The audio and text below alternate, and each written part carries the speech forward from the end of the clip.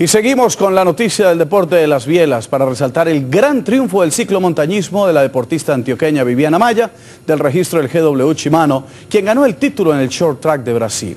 Fanny Valencia habló con ella luego de su nueva conquista internacional.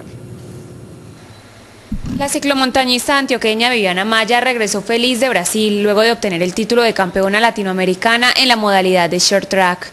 Luego de pasar seis válidas en diferentes países, la final fue en Brasil y la antioqueña logró superar a sus máximas rivales, las locales. Siempre tuve eh, Erika Gramicelli, que es la brasilera, siempre estuvo presionando, presionando y yo cuidando que no me llegara como desde atrás.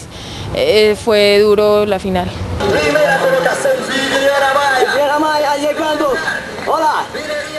El próximo objetivo de Viviana es en los Juegos Panamericanos, pero deberá esperar queda como en manos de la comisión técnica eh, quién va a ser la que vaya a representar al país en, Guadalajara en los Juegos Panamericanos. Eh, se va a determinar y se iba a hacer de acuerdo al análisis de las competencias que se hicieron en Europa, tanto en Italia como en Suiza en el pasado mundial. Esperar y de hecho la que vaya yo sé que va a ser lo mejor por el país. Viviana Maya estuvo en Suiza y en Italia en competencias antes de la final en Brasil y gracias a este fogueo presentó el mejor nivel en la final del short track.